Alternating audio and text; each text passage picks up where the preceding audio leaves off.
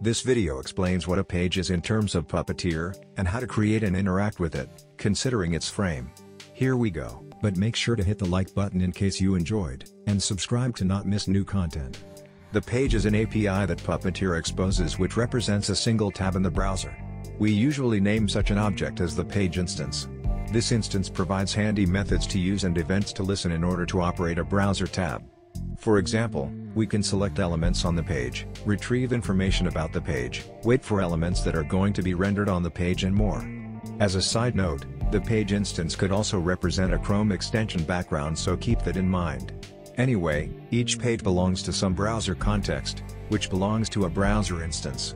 This means we can create multiple page instances per a single browser instance. Also, we should notice that each page has at the very least, one frame instance which is being used as its main frame. On top of that, much of the page methods are merely shortcuts to methods on its main frame. In case of other frames, we should target the frames specifically and use their respective frame instances. Now that we've a basic understanding of what a page is, let's see how to create one. As we mentioned, we need a browser instance to create a page. Before we even begin, we should be aware that the browser instance already has a page that was created during the initialization. This actually makes sense because what is the point of a browser without any tab? By the way, it can be used by accessing the first element of the result of the pages method. Nevertheless, once we have the browser instance, we can create a page instance on our own, simply by invoking the new page method.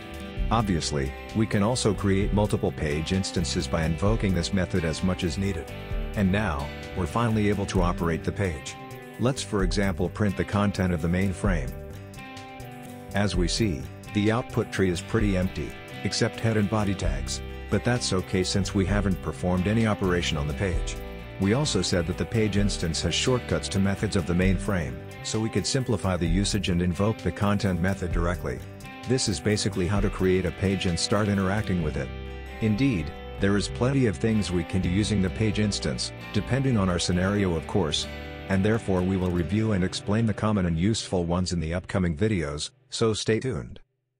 Don't forget to hit the like button in case you enjoyed, and to subscribe to my channel.